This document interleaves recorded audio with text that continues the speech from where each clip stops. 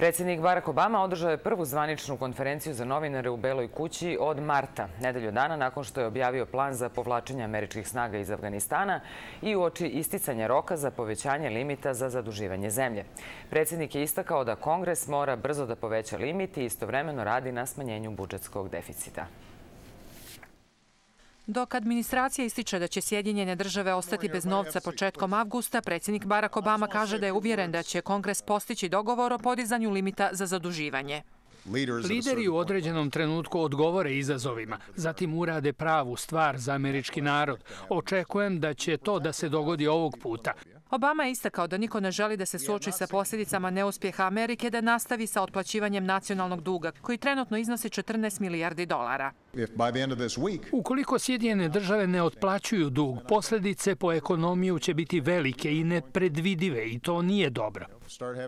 Predsjednik je najavio da će se pod predsjednikom Sjedinjenih država Josephom Bidenom nastaviti razgovore sa liderima u Kongresu kako bi postigli dogovor koji bi predviđao smanjenje deficita i omogućio podizanje limita za zaduživanje.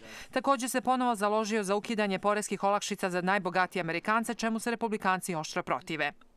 Obama je na prvoj konferenciji za novinare u Bijeloj kući u posljednja tri mjeseca između ostalog branio i međunarodnu vojnu misiju u Libiji, navodeći da je preduzimanje akcije zaštitilo hiljade ljudi u toj zemlji.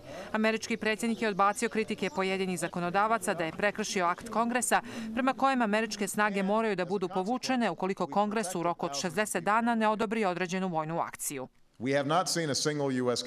Nije bilo američkih žrtava, nema rizika od dodatne eskalacije. Ova operacija je ograničena kada je reč o vremenu i cilju. Tako da sam rekao američkom narodu, ovo je naša specifična misija i izvršavamo je na primjeran način. I tokom celog procesa konsultujemo se sa kongresom.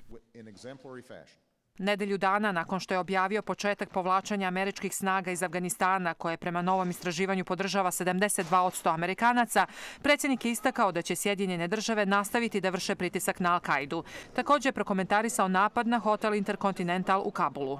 Kabul is much safer Kabul je mnogo bezbedniji nego što je bio i afganistanske snage u tom gradu su sada mnogo sposobnije. To ne znači da se napadi poput ovog možda neće događati. Naš posao još nije okončan. Međutim, kao što sam kazao u govoru, ratna stihija se smanjuje i prelazimo na fazu tranzicije. Predsjednik Obama je u odgovoru na brojna pitanja novinara zatražio sveobuhvatnu imigracionu reformu, navodeći da je Americi potreban sistem koji će poštovati zakon, ali i njenu tradiciju kao zemlje imigranata.